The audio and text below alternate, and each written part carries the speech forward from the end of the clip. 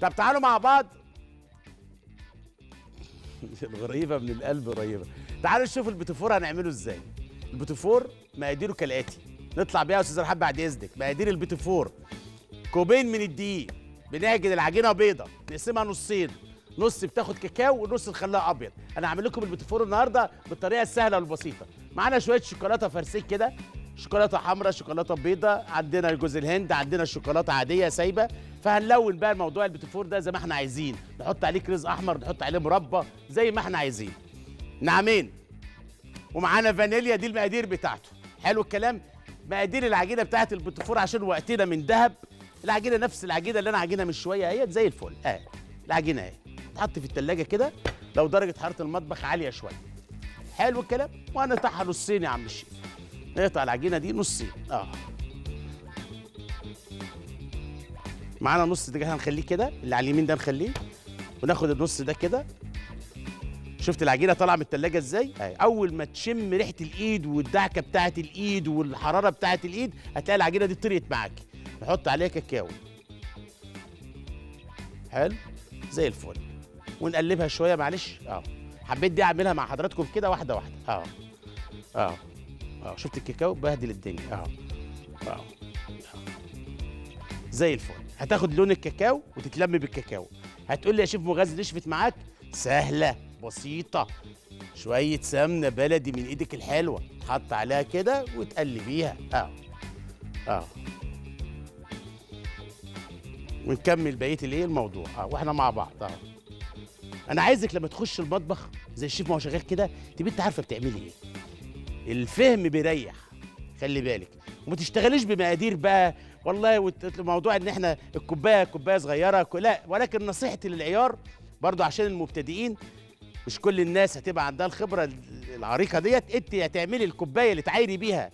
الدقيق تعايري بيها السمنة الكوباية اللي تعايري بيها الدقيق تعايري بيها السكر الكوباية اللي تعايري بيها الأساس الدقيق تعايري بيها بقية المواد كلها. آه ده نصيحتي ليكي. آه شفت العجينة؟ آه. عجينة البوتفور خلاص خدت الشوكولا بقت لونين. هنفرد دلوقتي كل واحدة لوحديها ونحط الاتنين على بعض ونلفهم rolls ونقطعها. ده البوتفور بدل ما نحط واحدة على التانية. آه إحنا هنحط الاتنين جوه بعض. آه الشوكولاتة دي تتلم كده. آه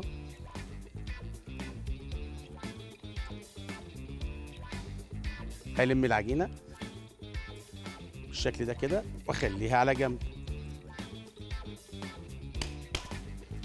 هنفرد العجينة مع بعض.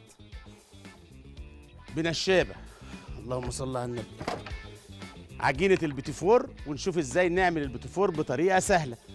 هتعجن على الشوكولاتة يا شيف نعجن ما كلها حلويات. خلي بالك دعبست الكل. العجينة معايا زي الفل أهيت. بفرد الأول كل واحدة على حدة. دي كده أهيت. بسم الله الرحمن الرحيم. أهو.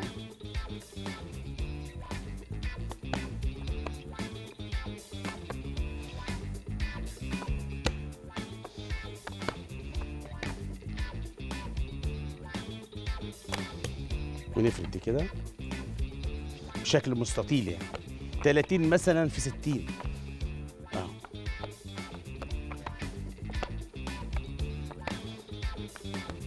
حلو. تمام. كل ما تسخن كل ما تلاقي السمنة دي فكت. شفت العجينة غير الأول؟ آه آه آه. ده الطبيعي. آه. آه. المسام بتاعتها بتقفل معاكي. آه. زي الفل. هنعمل إيه يا شيف؟ هنقطع كده.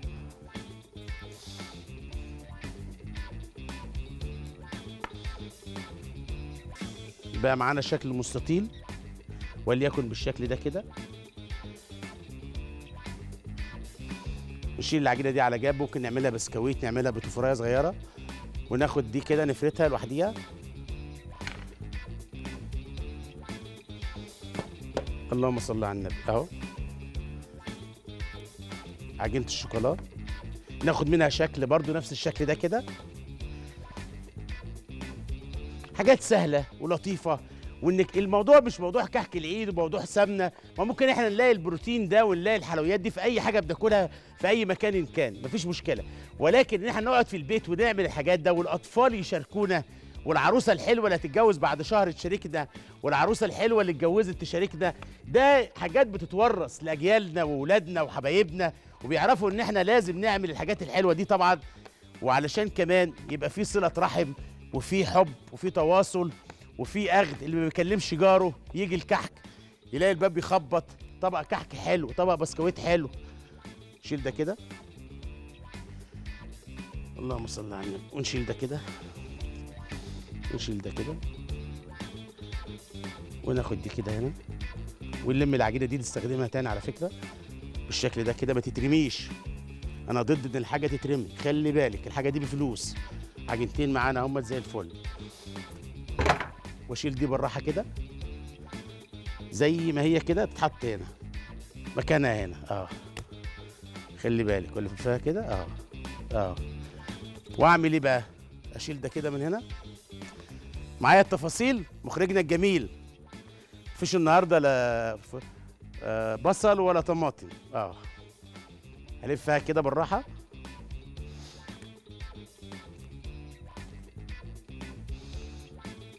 بتفور بطريقة سهلة. آه. آه.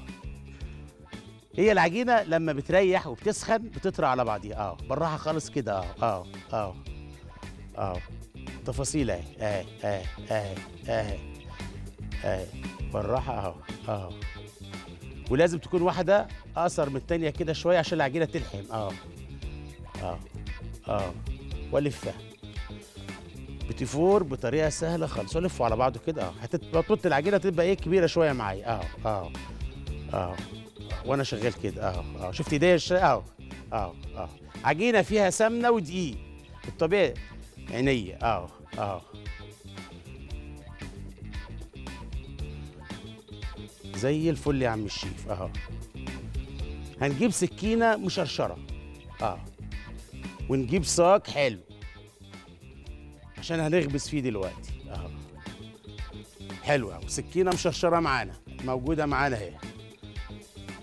وصاج حلو. فين يا عم الشيف؟ اللهم صل على النبي. وليكن ده مثلا. آه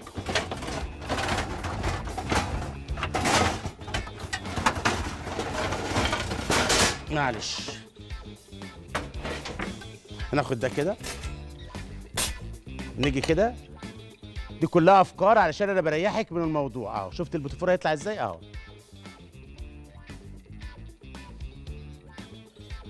حلوة. نفس القصة. أه. يعني تقريبا 5 مللي. 3 مللي. آه. ده درجة حرارة الفرن نفس موضوع الغريبة. 120 130 بالكتير. والعين شوافة. يعني إيه العين شوافة؟ أنت قدامك الفرن بتاعك وأدرى بيه. عارف إيه؟ مفاتيحه. خلي بالك. فسيبك من موضوع 20 و140 و160 والجو ده كده. آه. شوية بيتيفور بيتكلموا مصري. عيني وأنا مخلص زي الفل. إحنا عايزين نشوف الحاجة الحلوة بس كده. عندنا البيتيفور معمول أشكال وألوان وعندنا كمان بيتيفور معمول سادة وعندنا شوية غريبة معمولة بالشوكولا. على فكرة ممكن تعملها بالشوكولا يعني بدل ما تعمليها كده الغريبة. بتعمليها. بيضة زي طالعة معانا كده ممكن نعملها بالشوكولا الحاجات دي كلها تفاصيل معانا. ممكن نعمل حاجة حلوة كمان هنا. بصوا كده بص عليها كده برنس قبل ما نخلص. أهو بنحط في الشوكولاتة دي كده أهو ونحطها في الشوكولاتة الفرنسيه كده أهو. أفكار بسيطة وسهلة. اهي ونحطها تاني هنا كده. تاني كمان واحدة. اهي اهي بالشوكولاتة. وتطلع على الشوكولاتة دي كده أهو. دي الحاجات دي مطلوبة. أهو ونفس القصة هنا كده أهو. نحطها في الشوكولاتة الحلوة. أنا بحب الشوكولاتة الغامقة بالشكل ده كده. أهو. طب في العسل ويجعل أيامنا عسل أهو تنزل في العسل وبعد تنزل في الشوكولاته أهو اللي مش عايز شوكولاته يحطها في العسل أهو بالشكل ده كده أهو. دي التفاصيل الصغيرة. تاني في العسل حب العسل أنا آه آه آه نفس الموضوع آه ومعانا غريبه دي طبعا لازم تتاكل بعد إيه؟ ما تبرد تتغرف في الصينية بعد ما تبرد. طيب وعندنا البوتفور ده يتحط في الفرن في درجة حرارة 180 يطلع معاك زي الفل زي ما هو كده. بألف هنا وشفا. التفاصيل بتاعته أهي. حلو الكلام. في حاجة ناقصة النهارده؟ بكرة يوم الأطفال إن شاء الله. كل سنة وأنتم طيبين. زي الفل. تمام كله.